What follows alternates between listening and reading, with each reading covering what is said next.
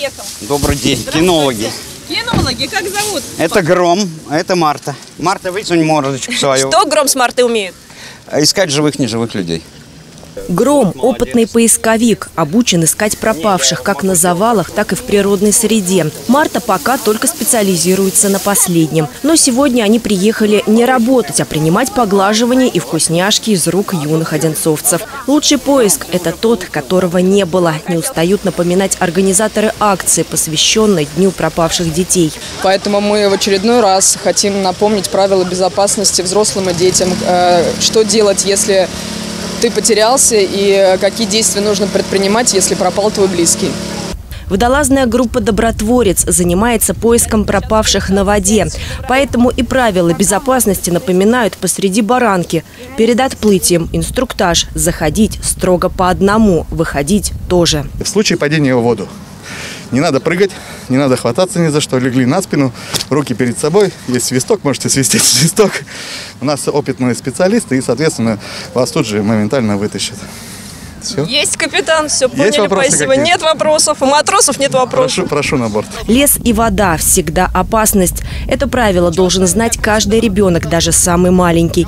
Если все-таки трагедия произошла, поисковики в первую очередь перекрывают ребенку выход к воде. По статистике, 99,9% погибших в природной стихии малышей утонули. Был случай такой, что мужчина уже увидел, что его дочка зашла в воду, достал ее, отвернулся за шапочкой или за что-то, девочку унесло снова в воду.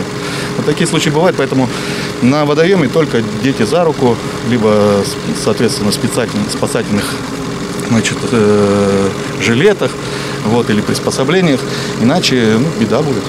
А по соседству с водолазной группой расположился отряд «Спас-резерв». В их арсенале все необходимое для оказания помощи людям. Спасательный инструмент, спрут. С его помощью можно э, что-то приподнять, например, плиту. Э, можно э, при работе на ДТП раскрыть дверь или что-то тоже приподнять, расширить, оторвать и так далее. То есть очень необходимая для спасателей вещь.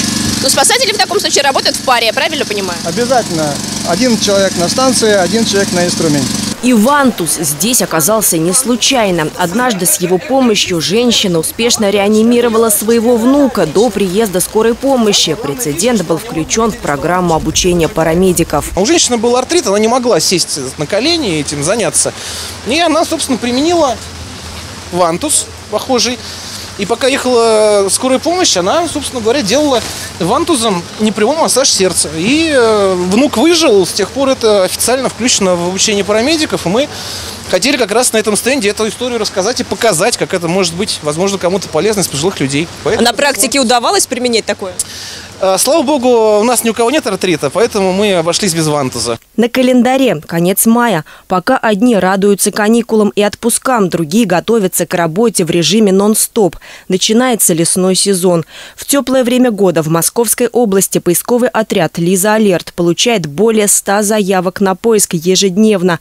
Правило номер один – в лес нужно одеваться ярко. Темная одежда, одежда, одежда защитного цвета, она сделана для того, чтобы человека было не видно. Это ее работа, и она прекрасно с этой работой справляется.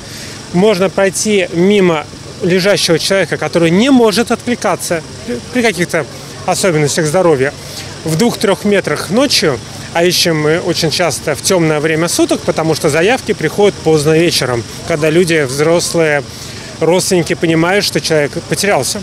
Жалко модную одежду выручит световозвращающий жилет. Заряженный мобильный телефон и пауэрбанк в комплекте для похода в лес тоже обязательны. Еще лучше, если с собой будет компас. Правда, чтобы он пригодился, нужно уметь им пользоваться. Поможет найти дорогу домой и навигатор. Мы возвращались с задачи, встречаем бабушку. И мы такая, бабушка, что вы тут делаете? Говорит, грибы собираем, мелок. Бабушка, вода есть? Нет. Ну и давай мы ее отчитывать. Нету воды, нету мобильного телефона, телефоном она вообще не пользуется, а реально в лесу далеко. И тут она, я не заблужусь, открывает корзинку, а там профессиональный туристический навигатор.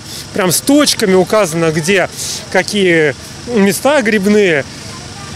Вот она никогда не забудется. Нам никогда не придется ее искать. С начала года в Одинцовском округе в правоохранительные органы поступило 63 сообщения о без вести пропавших детях. Все они были найдены живыми.